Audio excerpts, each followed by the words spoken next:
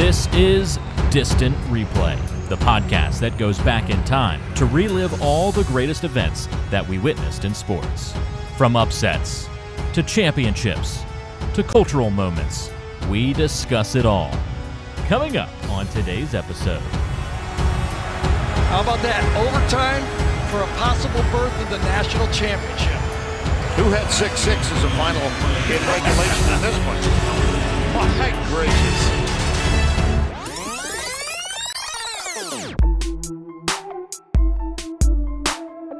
Well, you probably can pick up on which game this is just by that clip. And even though it wasn't a highlight per se, it kind of tells you exactly what this game was all about. It's Alabama, LSU. Some call it the game of the century, depending on who you listen to. And it is the focus for this episode of Distant Replay Podcast. Welcome in. I am Ben George alongside Mike Noto as we get started on another game. We went back to 2011, Mike, on a game that we enjoyed together. Yeah, we watched this game together in uh, Ben George's condo, and man, it, I I remember watching it there. And this game, when I, we went back and watched it, I didn't remember as much as I thought I did about this game. It, it was incredible. Well, me neither. Me neither. And let's just go ahead and jump right into it and talk about where we were. So you mentioned my condo. We were both in Connecticut. We've talked about on the show that we were both at ESPN for a little time, and um, we had gone tailgating earlier in the day. This is a huge game, okay? Now, keep in mind that, like, up in Connecticut, now you can find a lot of SEC fans at ESPN, but for a while before the SEC network started, there weren't a ton of them. Uh, it was rare to find a fellow Southerner in Connecticut, so I uh, I was kind of the spot for college football Saturdays because most people were NFL fans up there, like yourself. And of course, when Alabama had a big game, everybody wanted to come watch, and we had a nice little party for this. And it started off with tailgating at the Rent in Hartford for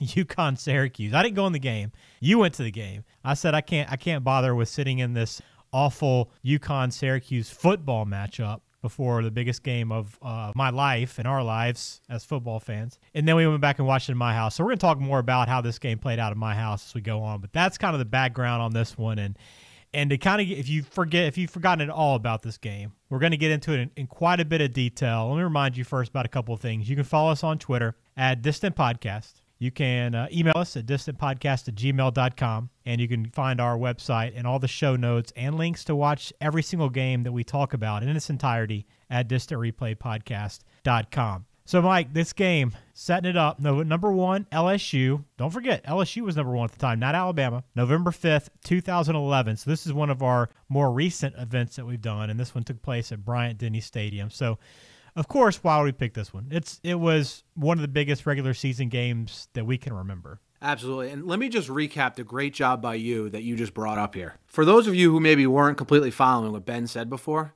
the guy tailgated for a noon UConn kickoff then went back to his condo and tailgated up until this game, which was a night game. Yeah, it was either seven or eight Eastern. I don't remember which time. So, th- so Ben was tailgating from about 10 a.m. to let's say 7 or 8 p.m.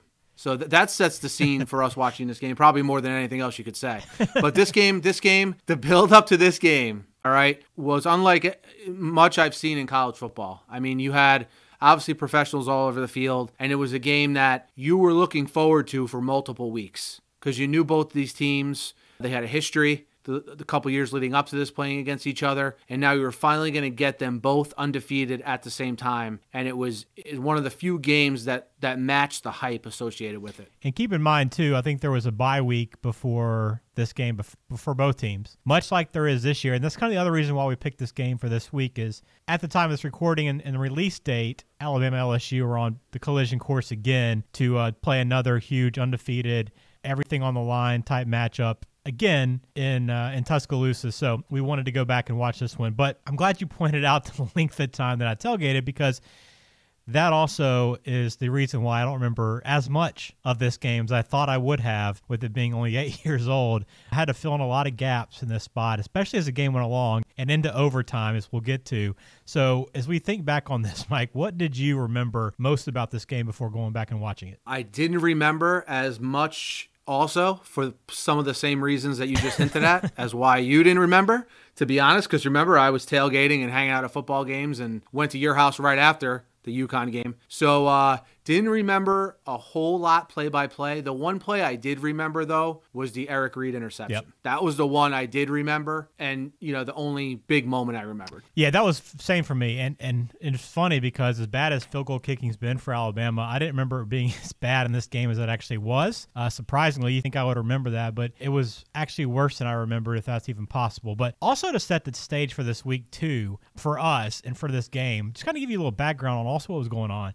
Connecticut had just had a snowstorm where we were living over like a foot of snow or two feet of snow in October. And it ended up being like nobody had power this entire week. So it was a mess of a week where like I was one of the first people to get power back like three days later. I still had friends that didn't have power until this Saturday. And I think that's why we had more people come over to watch this game was because people still didn't have power a week later when the storm hit. Do you remember that? That storm was intense. So for those of you who maybe don't live in the Northeast or didn't live here, or it was I think it was Halloween that Yep. year in 2011. Basically, none of the leaves had fallen off the trees yet, or very few had. So when we got the snow, the leaves and the snow and the ice weighted down the trees. And I remember clearing the snow in my driveway, and you could hear trees snapping all around you as you cleared the snow. Yeah. It, and and it led to all these power outages that Ben was talking about, and that's a great point as to why there was a lot of people at your place watching this game, and that was probably why. Yeah, so that's a little background on on this game. So let's move into it and begin with kind of setting the stage. We've done it a little bit. You, you touched on it being such a huge matchup with a lot of a lot of build up on basically everywhere you looked. I mean, I remember ESPN covered this thing as much as it could have, but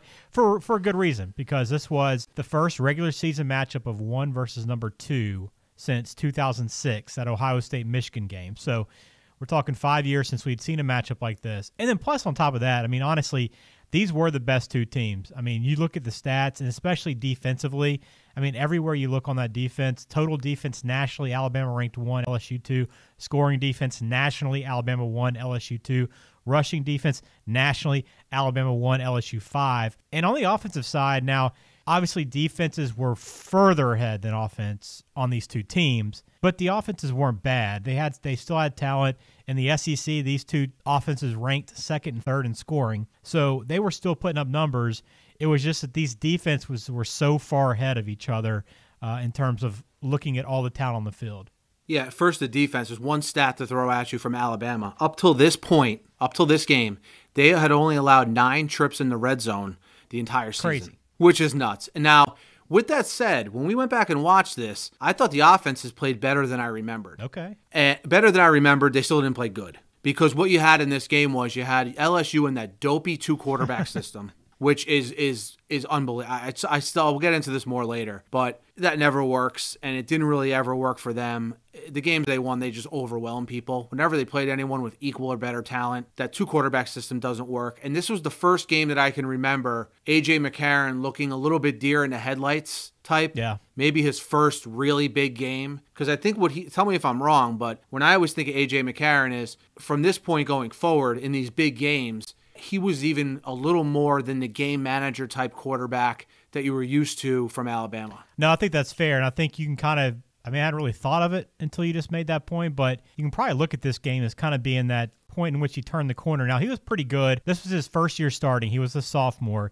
You know, he'd go on to win a lot of games and really be one of the best quarterbacks Alabama had had in terms of uh, wins, in terms of yardage, because this is a, a, team that traditionally ran the football primarily. I mean, you mentioned that game manager that we became accustomed to, Greg McElroy. John Parker Wilson was a little more dynamic than that, but you know, you look at AJ, he was really the best quarterback Alabama had in some time. Now, that's since been a race with Jalen Hurts and, and Tua, but he was really good. I think this he, where he turned the corner. But I think it was fair to say that he did have some moments where he looked a little tentative and released the ball a little quicker than he probably should have and made some errant throws. But, I mean, look at that secondary he was going against. I mean, can you really fault that performance? Yeah, that secondary was something else. I think it was a combination of him being a little nervous and McElwain and Saban not trusting him as much as they would moving forward. I think it was a combination of both. But that secondary for LSU, that may be why they had pause to really let him, you know, cut loose in this game because that secondary featured Morris Claiborne, who was a top 10 pick, Eric Reid, who's still a safety in the league, and I and Tyrann Mathieu. I can't believe I missed Tyrann Mathieu, who may be the best pro out of all of them, Mm-hmm. all in one secondary. And you and this is a team that the year before had Patrick Peterson as well, who had left for the draft this year, um, if I'm not mistaken. So you, you know you had those three guys and Patrick Peterson recently in this secondary, and it, it, that was an impressive unit. You know when they showed the starting lineups before the game, I was like, wow. Yeah, you might have forgotten about how, how just how good that team was defensively, and they had a ton of talent, and we'll get into that a little bit. But I think one of the one of the more fun to matchups to watch in this game, as you mentioned, uh, Mathieu, him and Dre Kirkpatrick got after it quite a bit in this game. Just really, really in special teams only, because that's really the only time they, they matched up. But it was quite a storyline in this game, and, and was a key moment at one point.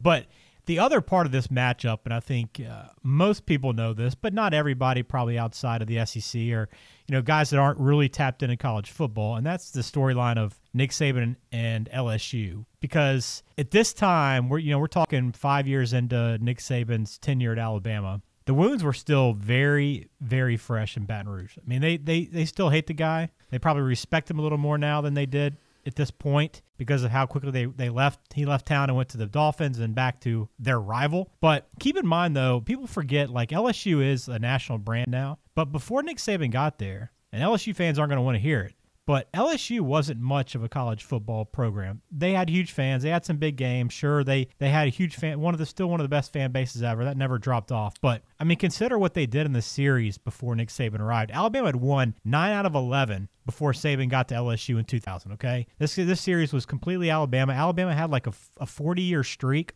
maybe 30 year streak of never losing in Baton Rouge. 30 years they never lost once in Death Valley and uh, Nick Saban changed that entire dynamic. And you'll see in the gra- on a graphic in this game, or one of the trivia questions they asked. But Saban was the first LSU coach to ever beat Alabama four times. So as much as LSU fans hated him, that that kind of adds that extra dynamic to this game. And you bring up a good point about LSU overall. Much more of a national brand now is a great point. And they showed a graphic in the beginning of this game. They were 8 0 to start the season and leading into this game. So first time they were 8 0 since 1973. So we're talking yeah. we're talking almost 40 years there without going 8 and 0. Um, and if you would have told me that, I, I, would I would have been surprised. I, w- I was surprised by it when I watched it. And you know, I thought an interesting dynamic in this game was, you know, you had Saban got to Alabama in 08, correct? 07. 07. 09 was the first championship. Yep. 10 was the Cam Newton year, right? Too soon, but yeah. Yep. So 2011 now is a season where, all right, Nick Saban won a championship. LSU's on the rise. Alabama's just starting to become that institution that we know now. You know what I mean? So this was still a big game for in the legacy of Nick Saban and Les Miles, and I thought that was an interesting vantage point to look at this game from. Yeah, yeah, I think because I think we saw these coaches a little more nervous than we would in the years to come after they were more established with the way they called this game. No, you're exactly right. That's another part of it is when you think back to where this when this game was played, completely different than where we are now. You, you mentioned it. Alabama had won a national championship, but then came back and lost three games the next year, which is the last time Alabama actually lost three games in a season, 2010. But there was still there was no verdict out. But it wasn't like there was this, yeah, this team year in year out is going to be in the the playoff for the BCS championship. That's what everybody, especially in Tuscaloosa, wanted to believe. But that wasn't an absolute fact at the time. There was still a hey, you know, he's really good. He could still leave at some point. We don't know what his future holds. There's only one championship. I mean, and it also felt because of those same reasons that in Tuscaloosa and Bryant Denny on this in this crowd and this this atmosphere felt different. You go back now, you go to a game now. There's still some really good crowds, but I don't think you you get that hunger that these fans still had. I mean, not to take away anything away from the fans and what they do now. I mean, there's still great crowds and really great atmospheres. We'll see another one in uh, Tuscaloosa when LSU plays this year, both undefeated. But there's just something about that when you when you don't have all those wins piled up and you're still kind of hungry for that national championship. It, it it reflects in the crowd, and this was a great great environment. Oh, that environment was great, and look, I've had the fortunate opportunity of when Ben moved back to Tuscaloosa to go to uh, three games down there, and what a place! If you, if anyone listening here has never been to an SEC football game, it's sort of like when you go to Vegas and then try to go to another casino. it just doesn't match up. You'll never want to go to a professional football game after you go to an SEC game. And I had the opportunity to see the number one team in the nation play every time I went there. One year it was Dak Prescott and Mississippi State, who was number one against Alabama but great place. So I just wanted to mention that. But you're right. There was a sense of nervousness, a sense of, hey, can we do this? And maybe not as much, you know, nervous confidence is how I would put it. Yeah, exactly. And you know, at this time too, Alabama had won in 08 and 09, but besides that, LSU had won six of the last eight. So it was still like this whole can we get over the hump against LSU factor as well. So LSU still kind of had that over Alabama at the time. So all those dynamics play into this game and what made it so special and why we picked it for obvious reasons besides it being number one versus number two. There was just so much, so many uh, subplots to this game going into it, including us watching it at my condo, which we'll talk about more. All right, let's get into the game itself, Mike, and begin our game discussion. And as we always do, let's begin with outdated observations. Now, this game's only eight years old, so there wasn't a whole lot that I can mention. Scott Cochran, Alabama's strength coach, had hair. That was one of the outdated items. There really wasn't a whole lot that caught my attention in terms of, oh wow, I can't believe that, except for maybe some of the rankings of some t- some programs that we saw over the course of this game on the ticker and on the highlights. That that stuck out to me too. I ha- it's amazing how we watch these games. We don't talk about this game at all before we start recording this. I know we said that in the past, but just to reiterate that. But the one thing I have for outdated observations is how good Arkansas was he- heading into this game, Well, only one loss and how good uh, Oklahoma State was heading into this yeah. game, undefeated. And they showed the list of undefeated teams at some point in the middle of the broadcast. And I remember thinking, wow, I can't believe some of these teams are undefeated. You know, Oklahoma State led by Brandon Weeden, just to throw out a name I'm sure you haven't heard in a while. So that was that was that stuck out to me. We've hit a run here where a lot of the same teams are in the mix for the now college football playoff and that was definitely stuck out. That was that's a great point. Yeah, and you mentioned Arkansas in this in, in kind of the overarching storyline too of this game was BCS implications. You know, we were this is pre college football playoff, so you know this game ultimately people thought this game would determine who would be in the BCS championship. It was a de facto playoff game. Now, come to find out, that was not the case after all, but that's kind of where it felt. And part of that equation was Arkansas in this mix. Arkansas was a top five team this year, and I had completely forgotten about that because of how bad Arkansas has become. And you know, Nick Saban's never lost to, to, Arkansas, and that was part of it. You know, even on this very good team that Arkansas had, they got blown out by Alabama and LSU that year. But those were the only two losses. The SEC West had three of the top five teams in the country that year, and it was pretty wild to think about because I'd forgotten how good Arkansas was at one point under Petrino before he decided to uh, hop on his old motorcycle and go for a joyride. But um, that's where we were in this game. So no, not many outdated items to, to speak of. So let's get into the broadcast. And it was CBS, as we mentioned, Verne Lundquist and Gary Danielson, our old buddy Uncle Vern on the call. Did you enjoy listening to him? Oh man, I love Vern. And and if you've watched SEC football in the last 10, 15 years, you know, I like Brad Nessler too. I think he's very good. I thought he was good when he was at ESPN. I think he's great now. But there's just something about Vern. Because just when you don't think Vern has any clue what planet he's on or what he's doing, he comes he comes in with something so enlightening and puts something in such an eloquent way, and it sort of takes you back. And I think that was the charm of him, to be honest. And I don't mean that in, in a disparaging way at all. I mean it dead serious. And and Danielson is just he's a great analyst. Uh, he was just on the local sports radio station here. He does a weekly college football spot, literally on my way here to, to tape this podcast. And he's even great on radio. Uh, he has such a way of explaining the game to you from the college football perspective that you don't get when you listen to the professional announcers. This is a great, great broadcast team. Tracy Wolfson's a sol- solid as well on the sideline. Yeah. Great, great broadcast team. Yeah, and keep in mind too. So this was the first time you know we've become accustomed to Alabama LSU being played at prime time. I mean that that's been kind of the thing. But remember, this game was a 2:30 game for a long time. But CBS actually worked out a deal and made a trade with ESPN this year to move this game from 2:30 to its 7 o'clock uh, Central start time. They announced this trade in October. Uh, they basically swapped games and had some future scheduling considerations for the 2012 season. They gave back to ESPN, and since that time, CBS has kept that game in prime time. Now, they had a huge screw up this year, opted to go Notre Dame, Georgia as their primetime game this year, thinking LSU maybe wouldn't be as good, thinking maybe Georgia, Notre Dame would be uh, a really good matchup by the time the season was over, could be two playoff teams. And now it turns out they're going to have to air this one in as regular time so They still have the game, but to not have this one in prime time, which it could be actually an even better game with the offenses now, I think it might have more interest than teams watching two de- great defenses. But that's kind of where all this started. So, you know, it's come full circle now, eight years later, but that's uh, originally how it started. People forget that, that was actually a trade between ESPN and CBS to make that game worked out work out. I, I had I did not know that, and I did notice when I was looking at the schedule for this weekend that this was a, a 3:30 game. I know you call it a 2:30 game because you lived in the Central Time Zone most of Right. your life, but the 3:30 game and what you know the glorification of Notre Dame football. We could do a whole podcast on that if you want. Um, but for them to you know to jump the gun and put them versus Georgia in prime time, uh, a lot of these networks, man, they want Notre Dame in prime time. You know, I guess I get it, but how many you know how many Notre Dame secondaries are we going to watch get blown by good teams in prime time over the years? Yeah. I don't know, man. It's it's they they're regretting the decisions they made this year. It's not been a good year for their scheduling uh, team at all. But into coaches, Les Miles, Nick Saban. We talked about it. Les Miles was in his seventh season at this point at LSU. Nick Saban in his fifth. Uh, really, just a classic matchup. And you know, Les, we're starting to see him a little resurgence up at Kansas, doing some good things there with that program. But as we kind of saw in this game, it's, it's really Les Miles' inability to adapt that's really kind of held him back at LSU. Uh, maybe he's changing that way of thinking a little bit at Kansas, but you could kind of see that. Uh, and, and really, at this point, Nick Saban hadn't hadn't changed his ways either. So not to not to uh, give Nick Saban all the credit in this game, but you know, Les Miles is a solid coach, but this was kind of the beginning of the end for Les this season. Not this specific game, but later on this season. Yeah, and I don't know if you saw the, in the open, they showed both coaches giving their pump up speeches in the locker Yeah. room. Those pump me up, man. And I'm not that kind of guy that gets pumped up by pregame speeches that are given to teams that I'm not on.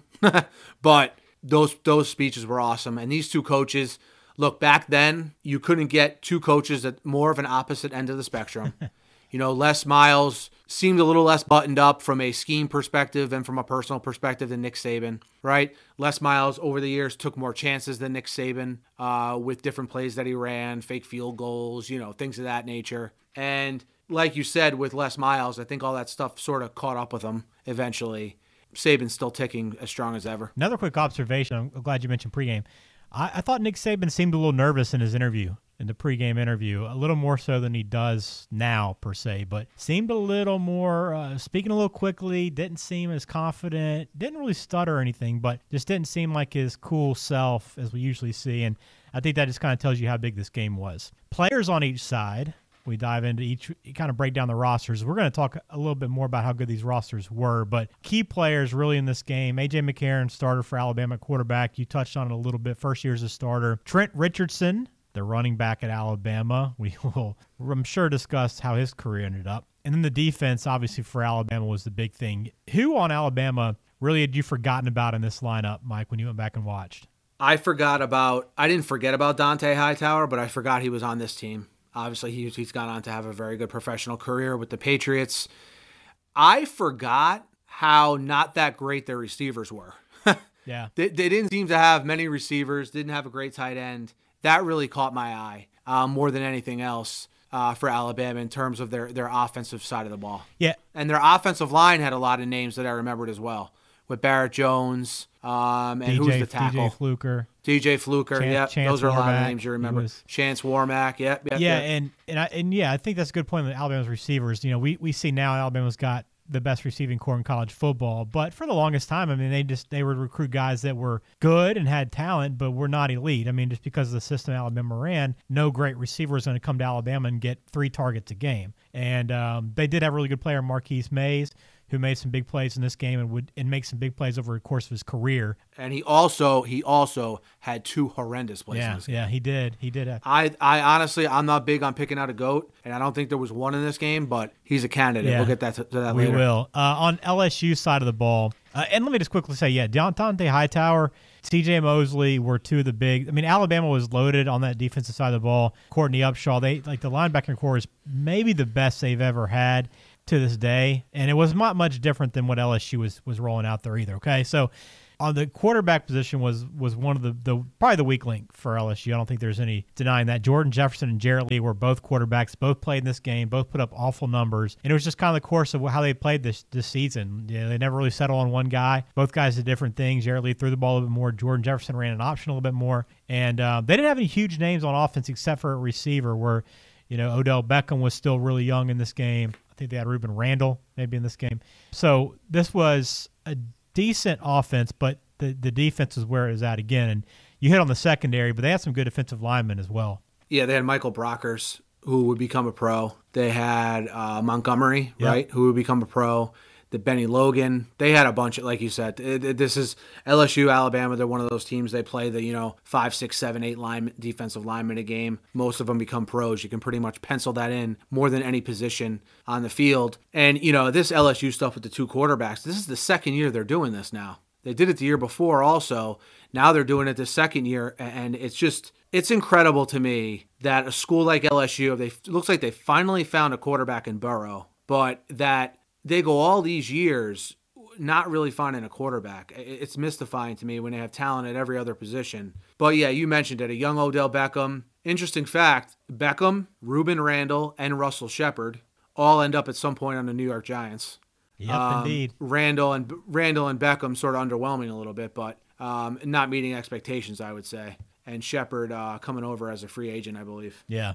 So they loaded up and down uh, both of these rosters, and that's why this game was such such a highly anticipated matchup. So let's dive into it. First quarter, run through some of the, the big plays and some of the moments in this game, and and go back through what we saw over the course of the actual gameplay. So first quarter, Bama comes out two two big plays to start. Right. I mean, a couple big big chunks of yardage, get down inside the 30 or so. But uh, you see LSU's defense for the first time rise to the occasion and really just put the hammer down, stop Alabama, force a field goal. First missed field goal. I thought the interesting thing, though, was Alabama came out and their offense looked pretty good. They had over 100 yards of offense in their first two possessions, but came away with zero points. Two, two good possessions right? And you have to put it into perspective here. They're playing the second best defense in the country, right?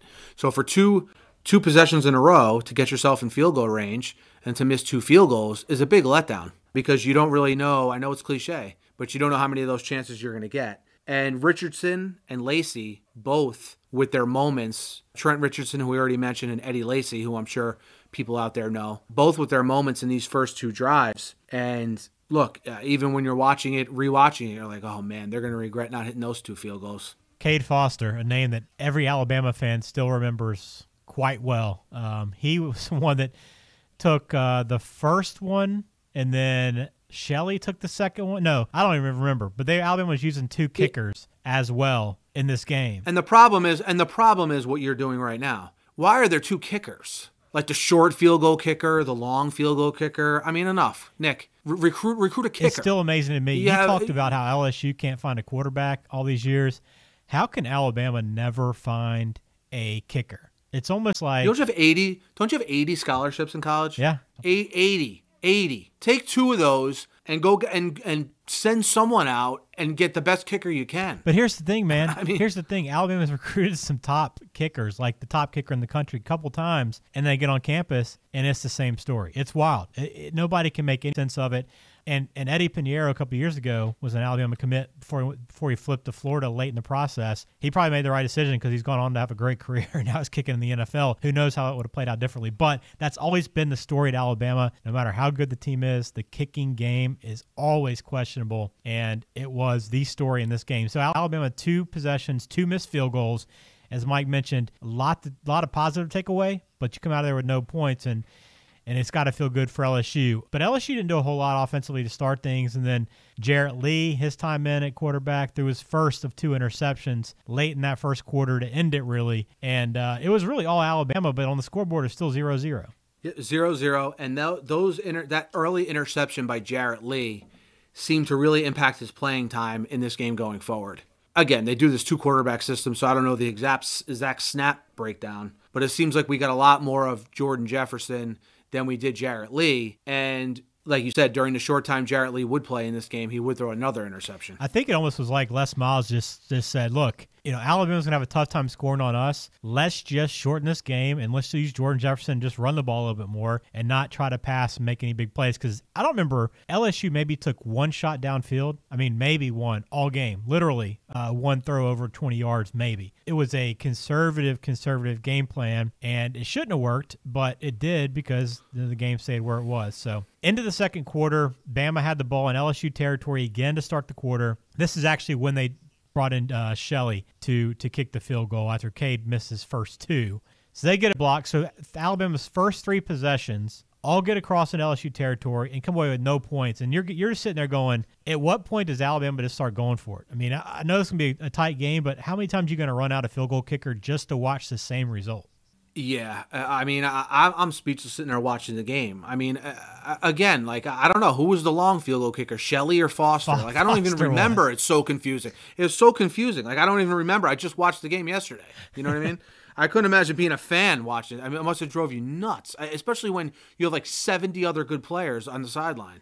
Also, also of note is how the special teams for LSU, most notably Brad Wing, up to this point in the game, is uh, he's actually playing really well and putting Alabama in not so great field position, but Alabama overcoming that, like you said, with three good drives to start the game. Uh, It's I'm speechless with this with this field goal kicker. Yeah, that's what was crazy is Alabama was moving the ball pretty well. You know, not, not, nothing huge, but they had some big chunks. But they were putting together some pretty consistent drives. And then uh, it was really for for LSU, there was really nothing to speak of in the first half offensively. And Alabama was able to get another drive into LSU territory and came away finally first points of the game and had to settle for a field goal. A Cade Foster or sorry, Jeremy Shelley. See, we're still getting confused. Jeremy Shelley, 34 yard field goal to take the 3 nothing lead. And, and finally, like a little bit of exhale inside the stadium, like finally got on the board after four possessions of playing v- pretty well. And Alabama just had a 3 nothing lead late in that. But LSU, credit them. They came back at the end of that, that quarter, and Jefferson led a pretty good drive down the field and got him down into and, and really almost had a chance to score a touchdown. But Alabama rose up and um, was able to hold him to the field goal. But the big play on that drive was an easy 34 yard completion. I just mentioned no really long passes. And this was probably the only one in the game. And it was really a busted coverage by Alabama that led to it. And it looked like a bad throw from Jefferson that ended up in the right place. It was a good throw, but it looked like at the time that he just threw it out there and, and one guy happened to run under it. But the replay showed that Alabama's secondary really gave up that big play down to the four, and Alabama rose up. So, you know, the offenses got down the field, but the defenses continued to keep both these teams off the scoreboard. Yeah, and two two quick things about those two field goal drives that you just mentioned. The Alabama one, uh, AJ McCarron missing a wide open player in the flat on that third down. Yeah. he missed a wide open guy, and Saban went ballistic, and rightfully so. He threw a, a fade, which Danielson pointed out was the easier throw because it took less time to develop. But Saban going crazy on the sideline because he had a guy wide open in the flat. And then you mentioned again the the, the long pass on LSU's drive to Shepard which again, a severely underthrown ball by Jordan Jefferson, but it didn't matter because, like you said, it was just a blown coverage on Alabama's end. Had it been a, a better thrown ball, could have been a touchdown. Uh, but now you have three three at the half, and Rich Trent Richardson over 100 yards total in the first half. Yeah, he looked really good in this game. And remember, he was third in the Heisman vote this year. Something else to keep in mind in this. He was in New York for this game. A couple other notes from the first half that I wrote down. One, I forgot how much option Jordan Jefferson ran. Uh, that seemed to be one of the favorite play calls from Les Miles on that sideline. And then the other part was, you know, Les always became known for his inability to, to manage the clock well. They almost ran out of time in the first half, even though they got the ball down to the four. They ran a couple plays, and they had a they had to call a timeout with Les Miles running on the field with a second left on the on the clock. Yeah, and you know, that was a confusing sequence to me, but Danielson made it sound like it was smart what Les Miles did. It kind of threw me off a little bit, Danielson's reaction to that. Yeah.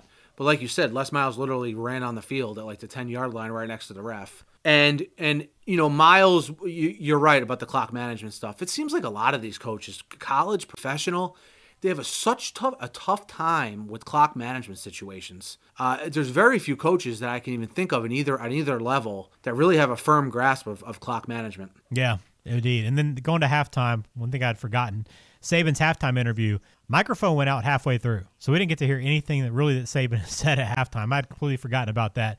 Was probably deep into the brown water at halftime at that point because uh, back at the condo, uh, the, the nerves were running pretty high. The tension was pretty thick back at the Plainville condo at this point. So It was, and just just so so I was in a like I said I was in I was in attendance at the Plainville condo, so I was a uh, I can speak from experience. We had Ben there who was an Alabama fan. We also had a kid who was an LSU fan, and it was one of those games where I didn't feel comfortable saying anything because I didn't want to get yelled at. I mean, it was one of those things where it was a ten- intense game because there was missed opportunities, there was good plays. There's the missed field goals that we talked about. Th- this game had a lot of stakes, and for a game that was only 3 3, it had a lot of action. Yeah, and Alabama did not punt in the first half. Speaking of how, how efficient Alabama's offense was, did not have to punt in the first half, but still just three points. So to the second half we go. It really started off Mark Barron, big play to start things off for Alabama. He intercepts Jerry second pick. This turns out to be a big play because Barron takes his ball back and almost scores, gets taken down inside the five, but a block in the back ends up taking it back to the 35. So that penalty ended up being a 30 yard penalty for Alabama. And Alabama still so managed to get a Cade Foster field goal, 46 yards. It was good. The second field goal of the game to give Alabama the 6 3 lead. The last points surprisingly, that Alabama would score. But that was a big play. That Barron interception really seemed like he was going to kind of turn it for Alabama, but only to come away with three points again. Just seemed like LSU was just right where they wanted to be. I had uh, three plays circled here uh, in my notes that I was definitely going to mention. Uh, and that was one of them. That was a huge. I mean, Upshaw was a very good player for you guys, but that penalty was just very unfortunate timing because, like you said, Mark Barron, who was a I don't know if we mentioned him before, but he was a very good college player. He's a good pro too. Still playing, but, yeah. Yeah, he's a good pro too. But that was a huge missed opportunity. They had the ball inside the ten. Uh, and then obviously that that penalty moves them back, but very good to bring that up, Ben, because that was a to me that was a huge uh, huge turning point in this game. And at this point, CBS threw up a good nugget. This was the first time all season that LSU had trailed in the second half. So just again to reiterate how good these two teams were, LSU had trailed for like 12 minutes all season before this game, and now they're behind for the first time in the second half. Uh, LSU didn't do a whole lot in this this quarter as well. The other thing that I kind of noticed, Trent Richardson, who you talked about, had a great first half started to come become really a non-factor in this third quarter. Couldn't do anything. Bama turned a little bit more to Eddie Lacy, which I, I kind of wish they would have given him a few more opportunities because he, he seemed to really get big chunks of yardage every time he went in and got a carry in this game, but they didn't really give it to him a ton. And what you're talking about with Trent Richardson, there was a span here in the third quarter where he had, you know, six carries for five yards. Right. So they they made some kind of adjustments at halftime and we talked about some of the coaches before, and LSU's uh, John Chavis. Uh, sort of, you know, when I think of defensive coordinators from that era, I think of, you know, him. I think of uh, Bud Foster, Virginia Tech. These guys, and the guy who's at uh, Clemson now, that's been there for a while. His name's yeah, Venables. escaping me. Venables. The, I think of these guys when I think of defensive coordinators. You know what I mean? Right. Guys that, hey, look, they're cool getting paid their uh, one, two million dollars a year to be a defensive coordinator, and that's what they do. And when you have a coordinator like that, he can maybe hide some of the deficiencies that Les Miles has as a head coach, and especially on the defensive side of the ball, and make adjustments at halftime. And I thought he made some very good adjustments, uh, bottling up Trent Richardson. Yeah, indeed he did. And kind of this after this kind of point late in the third quarters when things started to turn LSU's way a little bit. I mean, it LSU did some things and, and kind of moved the ball a little bit and had a couple of big plays, but still seemed like all Alabama. But things started to turn in that third quarter. It began with Morris Claiborne, a, a bad throw by AJ McCarron across the field. I think as soon as he released it, he realized it was a bad a bad throw. Tried to throw it uh, to the sideline. Claiborne jumped it. An easy pick. Took the ball all the way down to the 15 yard line with a minute left in the quarter. And at that point, still a three point game. Alabama kind of back on their heels again, once again. And fourth quarter begins. LSU field goal to tie it. And it was 6 6 at that point. I mean, which way are you are you leaning at this point? I mean, how do you feel about how this game had played? Was it all Alabama? Was it pretty balanced? What was your overall feel at this point? At this point, I had the feeling that even LSU's running game in this quarter started to pick up a little bit. Uh, at one point, that Michael Ford had eight, like I think it was eight carries for like 55 yards. And then the biggest adjust that we just talked about the adjustment to bottle up Trent Richardson. I sort of I'm sitting there watching it, and I'm like, look, Alabama had a lot of chances in the first half, and now I think LSU is imposing their will a little bit, and, and you feel the momentum slowly start to turn. I mean, it's a six-six game, so it's not like a huge swing of momentum Right. here but you could slowly see the tides starting to turn in LSU's favor. So here's where it really kind of turns for LSU, and this this ends up being the biggest sequence in my mind of the game. So early fourth quarter, it's six six. Alabama's got the ball back, kind of responding to that field goal. Okay, they they they held LSU again uh, to a field goal inside the red zone. Another great great stop defensively. Get the ball back. Alabama starts driving again. Huge Trent Richardson run. They're across the 50 again. I think they're inside the 40, around the 30, 35 yard line. Starting to get momentum. Going to answer the score again. This is when, as you first mentioned, uh, Marquis Maze having a couple of big plays in this game. I'm not going to go as far as to say this was a bad play. He makes a bad throw, but Alabama lines him up in the Wildcat, fakes the handoff, has his tight end Michael Williams wide open running to the end zone, throws it a little behind him, and still very, I mean, I'll call it a controversial. I'll speak on behalf of Alabama fans. A controversial interception call on Eric Reid, but Eric Reid makes a huge adjustment, comes off his man, breaks and follows Williams, and Marquis Maze, being the five eight receiver that he is, didn't quite get enough on the ball and gave Reid a chance to make a play. And credit Reid, it was a it was a hell of a play. I'll buy the controversial call. Okay, I'll buy okay, that. Thanks. Okay, I'll buy that. But that play call was ridiculous. I mean, you had Trent Richardson, who, like you just mentioned, got you to that point with his best run of the game. It's your bread and butter. You're Nick Saban. If any, eh, if anything, you're known for not taking chances like this. And put it the ball in the hands of a five eight receiver to throw a pass down the field to a tight end. I, it was a ridiculous. It was a When, you- ridiculous when, you- play when call. you put it like that, maybe. But listen, look, I don't think they felt like they had a really good opportunity to score a touchdown without doing something a little different. I felt that way. And the play call was good. I mean, Williams was running wide open. If Reid, I mean, any average defensive back or safety might not have made that play. But Reid literally came off his guy because he saw Williams run in front of him and seamlessly picked up Williams and made that play. Look, and, I think this speaks more to what we talked about before, where I don't think 100% these coaches trusted McCarron in a spot like this because you're not doing this if you trust your quarterback with a play call like this. And I, I don't think there's any really, really arguing that. And look, was Williams wide open? Maybe, but who's Williams? You know what I mean? Like these guys you have deciding this game for you uh, in a 6 6 game. You know, I always just err on the side of when you have really talented players, put the ball in their hands and let the chips fall where they may. Look, it, it was a re- it was a borderline interception, and it was not clear cut. And I get it was a controversial call, but I just don't believe in the play call as a whole. So that was at the one yard line, okay? So still, I mean, Alabama in their best, the best defense in the country has LSU in their uh, very average quarterback situation backed up to the one yard line. So still not in a bad spot, even though that was those were points off the board for Alabama. They, that catch gets called, probably a touchdown, but Alabama gets a stop, and And something something to mention here, Ben, because I know what you're getting to. Let's not forget Marquis Maze. His ankle is banged up before he threw the pass. true, he did go out Let's let's first let's let's just set the stage. I think Go that's ahead. fair. He he did go out in the first half with the sprained ankle. It was it was heavily wrapped. He was he played really well on it for what it was, but it still was hampering him a little bit. Um, so that did probably factor into that throw. And then it also factors into LSU's next possession. So Alabama gets a three and out, and they're set to get great field position again in this game when Brad Wing, who turns out to be one of LSU's best players this year, this season, boots his best kick of the day. Now, he hasn't had to do this as much because he's really just been trying to control his kicks most of this game and looking for uh, more of an angle rather than distance. But Boots, uh, this one, as well as he has probably most of the season. And Maze isn't able to back up on it as much as he wants to. Now, I didn't really see exactly how far you know he was off. I think he was like 40 or 50 yards back, so it wasn't like he was in a bad spot. But this ball went over his head by five or 10 yards, and he couldn't backpedal enough. So lets it go, and of course it takes an LSU bounce, rolls another 15 yards, and turns out to be a 72-yard punt. And Alabama all of a sudden went from having the ball at about the 50-yard line to again being backed up, uh, I think inside the 20. Now it was pretty clear to me, and I think Danielson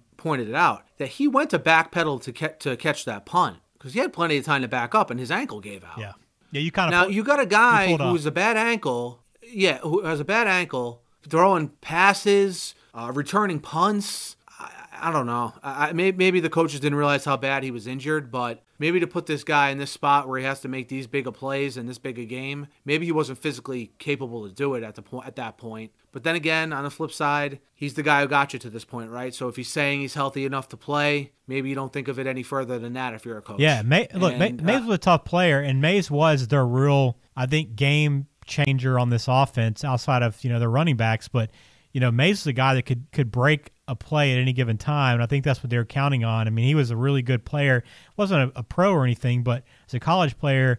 He gets overlooked a lot, but he, he made a lot of big plays for Alabama over this two year national championship run. Yeah, and like I said, it, it's one of those things where if a guy's telling you he's healthy and he looks fine, and he, like you said, he did make some good plays in the interim here. It's just unfortunate when you see a guy who is maybe not himself and he sort of gets put in a situation where two plays don't go his way back to back like this in such a big game. Yeah, so from that point, Alabama moves it down the field a little bit, but is unable to do anything with it. And the, basically, they, these two teams go back and forth a couple times. This clock runs out, and Alabama got the ball back with 53 seconds after holding LSU, and I think they tried to run a little screenplay, hoping that maybe it broke for big yardage and they would maybe do something from there. But both teams were very content with going to overtime, which I thought was a little surprising. I thought Les Miles maybe would try to call timeout, and Gary Danielson mentioned it a couple times that he thought LSU was about to take a timeout, but both coaches were happy getting to overtime, which I thought was a little surprising. I was surprised by Les Miles that he he, he clearly did not mind going to overtime. And one thing, uh, the second to last Alabama drive, when they had that third and 20 and they Yeah. threw that screen pass to Richardson, he was so close to breaking that. Yeah, what did he get? 18 yards? Yeah, it was clearly like a play where they're just like, ah, third and 20, let's see how many yards we can get. I, he was so, when I was watching, I was like, I know he doesn't break this, but it, lo- it looked really, eh, that was a, you know, we're getting on these coaches for the play calls. That would have been a great play call if he got, you know, five, ten more yards. So we go to overtime, okay? And then in this overtime, again, I think back at the condo, you know, the memories were starting to fade a little bit. Let's just put it that way. But we get to overtime. LSU wins the toss, plays defense first, right call. But buddy, I had forgotten how bad Alabama was in overtime. That was that was easily their worst possession of the game. It might have been their worst four play series of the entire season. The only chance they really had in overtime was that second down pass to Richardson on the wheel route that where McCarron missed them. That was really the only semi good play design and play execution they had, and McCarron just missed them. Yeah. And look, you're setting. If I told you before the overtime, hey Ben, um, look, we're gonna set up Cade Foster or Jeremy Shelley, I can't remember who, for a 52 yard field goal here. What do you think? You know, Probably would have kicked you, out probably of the would have ran. You probably would have ran and got the maker's mark. Yeah. exactly. Um, so let me just recap. First down, Alabama tries to throw a little uh, inside screen to Trent Richardson, and AJ McCarron fires it to him, and, and Richardson can't catch the ball. That was first down. Then Alabama proceeds to break the huddle with 12 players. That's five more yards. Then the wheel route, as you mentioned, McCarron wasn't an awful throw, but to a running back, you got to throw it inside, and he made uh, Richardson try to catch it over his head. Richardson could not hold on to it. Then third down, McCarron takes a sack. Okay, one thing you can't do in this spot. So then, as you mentioned, especially especially when you know how you have two kickers. when you have Cade Foster and, and Jeremy Shelley on the sideline. So Nick Saban taps Cade Foster to come out for the 52-yard field goal. It was not dramatic. He hit it poorly. It went straight left, died on the in the end zone, and uh, was very anticlimactic and exactly what we expected when they went out there and trotted out the field goal for 52 yards. So LSU had the ball. And LSU was going conservative, very simple. Let's just run this, run this, run this. We got a good kicker.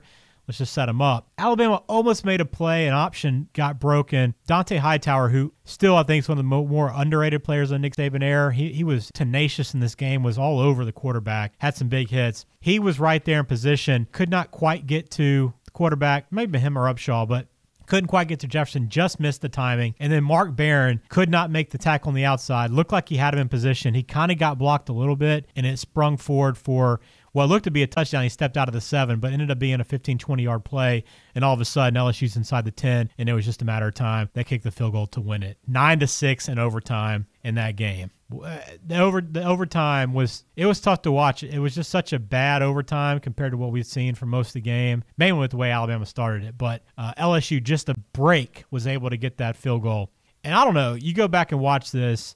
I, I I think I gave LSU maybe a little more credit going back and watching it, but to me, I mean, Alabama was the better team in this game. Yeah, and and look, like you said, that, overtime was very anticlimactic. I mean, you had a game that it might have been a six-six game heading into overtime, but look, we've done a whole podcast on a game that was nine-six was the final score. There was a lot of very key plays and a lot of action during the game. Overtime did not match it, like you said, and one thing is, you know, when you when you fast forward a couple weeks later and they play in, in the national championship game, and we all know what the result was to that game, which we'll talk about here in a little bit. When you go back and watch this game, I don't think you could be surprised because I thought Alabama did outplay LSU, and it was one of those things where LSU just made less mistakes. And a lot of times these games, especially college games between two good teams, uh, it comes down to that.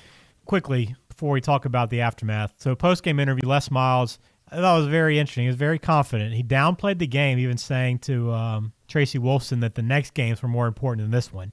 you know, and that's coach speak a little bit, but I think he downplayed that Alabama game a little bit. And then Wolfson asked him about a rematch. Hey, if this if it turns out you guys play again, what do you think about that? And Les said he'd be honored to face Alabama once again. I don't think he actually believed it would happen probably at the time, but he felt a little confident coming out of that game. You know, can't blame him. But yeah, to my point, so let's go let's go post game aftermath in this and a couple quick thoughts on this game. To me, I think if Alabama would have scored in their first couple of possessions, this game would have been much like the national championship game. Because if Alabama can get up 10 nothing in this game or 13 nothing, or hell, if they could have scored two touchdowns out of those four possessions, which they got inside the 30, 14 nothing lead in this game, it would have been over. I mean, uh, LSU trying to throw the ball and catch up would have had no chance in this game. Yeah, that wasn't an option for this LSU team. No.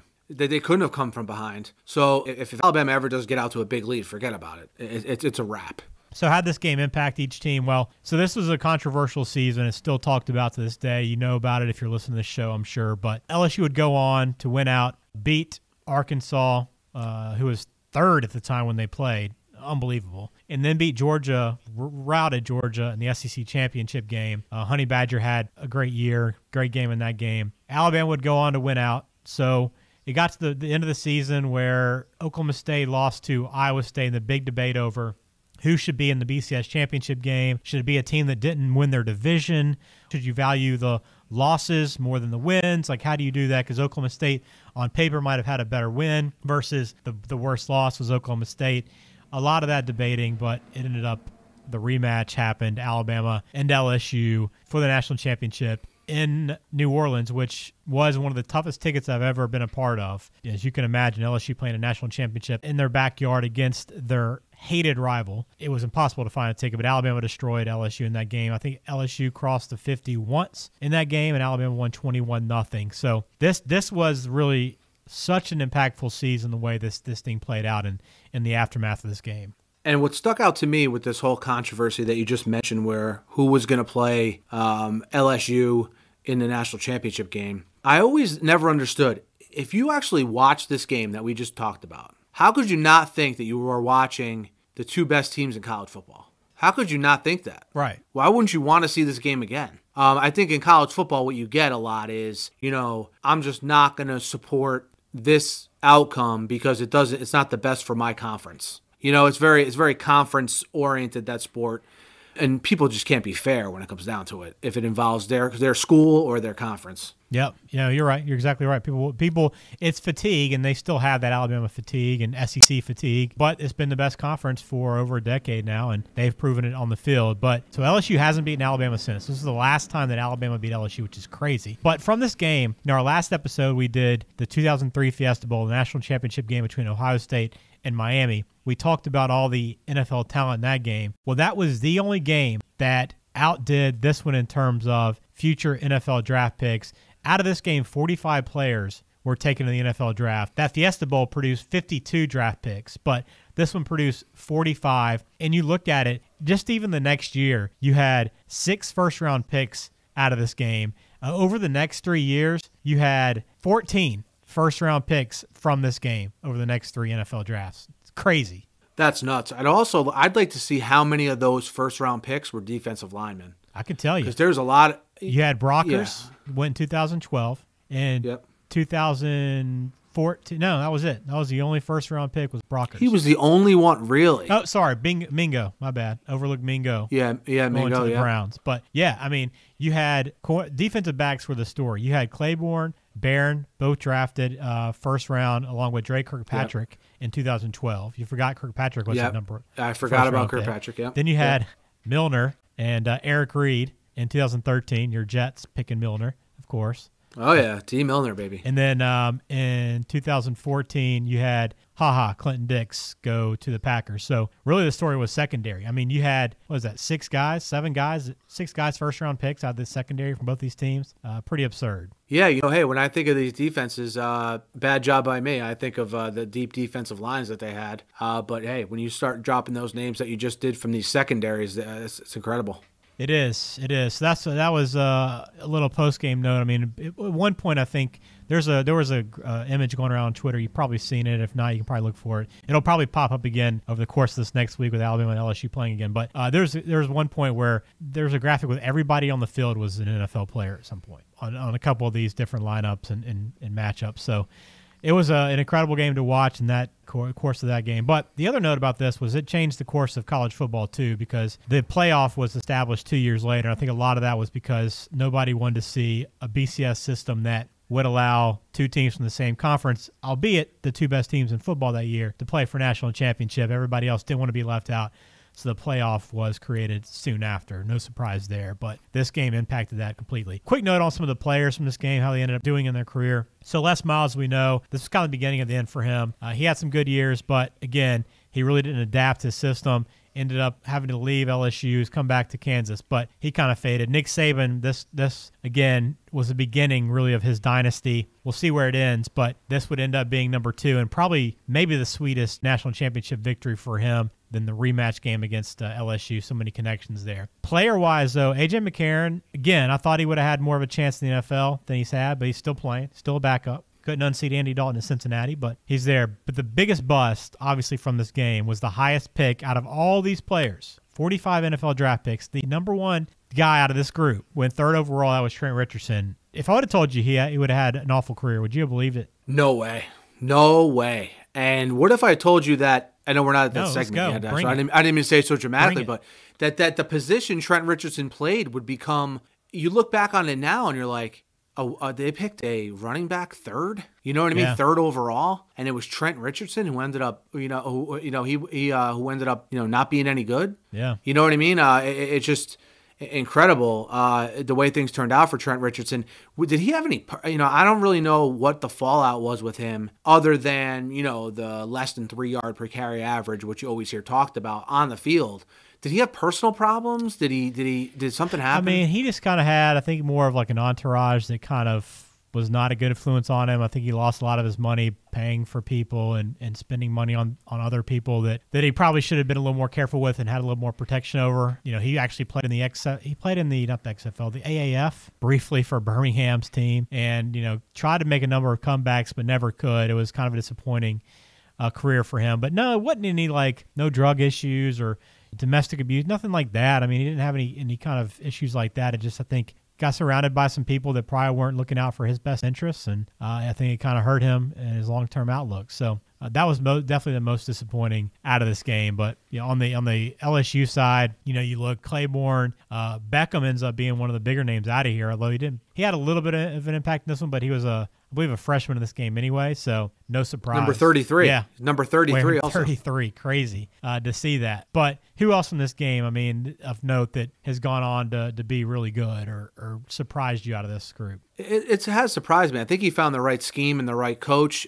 but it, ha- it has surprised me how good Hightower ended up being. Yeah. I mean, he, he's he's been the centerpiece of that New England defense here on in their renaissance. You know what I mean? Like since you know they went to 10 years without winning a Super Bowl, and since you know that 2014 2015 time period, uh, he's the one constant that you think of on that defense. Yeah, and I, he he's been a really a, an overlooked player. I mean, he he was so good, and it was just so big and so fast, which was crazy the combination. And yeah, he's had he's probably had maybe the. I mean, would you say he's had the best career out of this group, uh, just in terms of overall production and, and success and wins and stuff? Or would you maybe Um, give it to?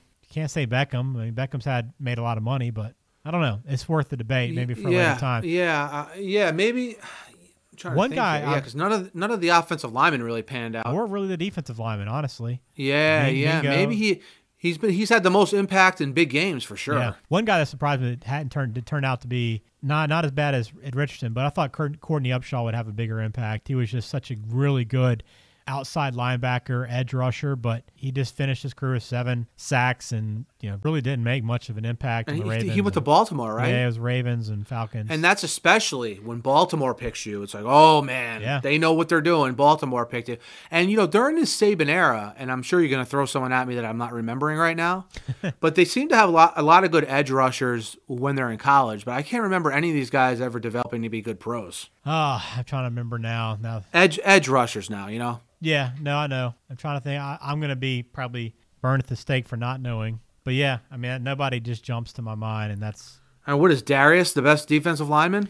Yeah, I mean he's been good. I mean there's been some guys obviously recently with um, He's gotten with, paid the most. I'll tell you Payne and um, Jonathan Allen. But yeah, I don't, I, I, that's a great question. I, I- there have been some guys, and that's part of the storyline and the narrative that guys are bust for Alabama when they get to the pros. But you know, you put so many guys out, there's going to be a number of guys that don't meet those expectations. But they've had plenty of guys that have. So yeah, does it, Is Quinn? Is Quinn? Let me. Let me. I'm, I'm jaded by Alabama players because of D. Milliner, like we talked about before. Can you? Is is Quinnen Williams going to be a bust? Please tell me he's not going to be a bust. I, I, I, I would say no. Uh, how many guys are getting injured at the Jets, though? I mean, you know, Mosley comes over and gets hurt. Been that same way. I, you know, I don't know. It, it'd be hard to believe that he'd be a bust, but well, well, it remains to be seen. I'm going to say We no. passed up on. We passed up. We passed up on Josh Allen, yeah. who has who has just as many sacks as uh, the younger Bosa there in San Francisco, but no one's talking about him because he's in Jacksonville and no one cares. But we passed up on Josh Allen. But uh, let, let's you know, not not a Jets podcast, so I digress. We'll see. I think he'll be all right. Just give him a little bit of time. But moving on, wrapping this thing up. No need to go social because social media was live at this point. Uh, let's play the what if game real quick by before we wrap it up. So the big what ifs for me, uh, the block in the back during Barron's interception. Had that not happened, Bama probably puts one in the end zone. Has a really good shot. They're inside the five. No guarantees in this game, but I like their chances. The other big what if still to me is that Marquis Maze. If he can field that punt in the fourth quarter and Bama starts the ball at the 45, their own 45, and only has to get 35 yards to have a field goal attempt, it's nothing guaranteed. But just to get that chance, I think that game turn, turns uh, turns out differently. Some what ifs for me, Marquis Maze related, but the, the drive before that. What if Alabama just kept with what was working? They had no momentum the whole second half up until this drive. You finally get a good Trent Richardson run and you go away from it. So, what if they just kept to what they do and didn't alter? And, you know, the biggest what if to me in this game is what if the Foster Shelley law firm combination of kickers hits two of those field goals? Yeah. You know what I mean? Not even and, makes Jarrett Lee or Jordan Jefferson or whoever be a quarterback and play from behind. You know what? Like we talked about before. What if that happens? You know, how does this game turn out differently? Bama, if they could have just hit three of six field goals rather than two of six in this game, where would they have been? Yeah. Uh, my other is bigger picture. What if Alabama wins this game? Do you think we still get a rematch of Alabama LSU? I don't think that ever really gets talked about much because everybody wants to kind of point at Alabama and say they just kind of get the benefit of the doubt. But to me, I, still think Alabama does the same thing as LSU in terms of running the table, then beating Georgia in the SEC championship game, and then you're sitting there with LSU, who still went on to blow out number three Arkansas in this game in this season after this game with a say a nine to six loss in overtime to Alabama. Does it still end up the same way with the rematch? I think I think if it's if it, if Alabama wins nine six, Yeah. then yes, then yes, because you got to remember now, like you just said, you have LSU getting knocked down, definitely lower than three, coming back and beating the team Arkansas, who was ranked third. Right. You know what I mean? So I, I think that would have uh, that would have vaulted. I, I think again, if it was a close win by Alabama, yeah, I think you would have saw the same game. Hmm.